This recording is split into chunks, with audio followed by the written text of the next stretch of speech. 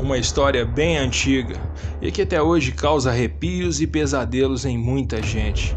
É o estranho vídeo com o nome de Obedece a la Morsa. Vou te revelar os mistérios por trás desse vídeo. Duarte 890 aqui. Editor, lasca a vinheta.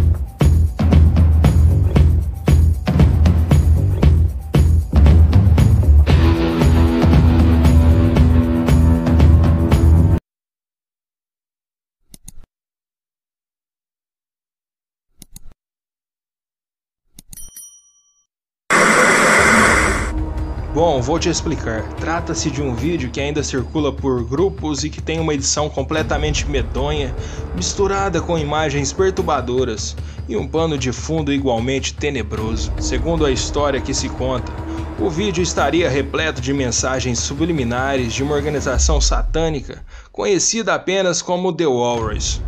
Mais do que isso, alegam ainda que quem vê o vídeo passa a sofrer com pesadelos bizarros enxergar vultos e até ter estranhos casos de convulsões.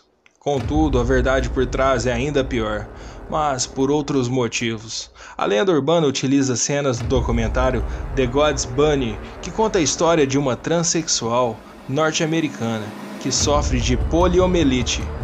Assim, a partir das cenas da dançarina, alguém faz uma edição completamente sinistra.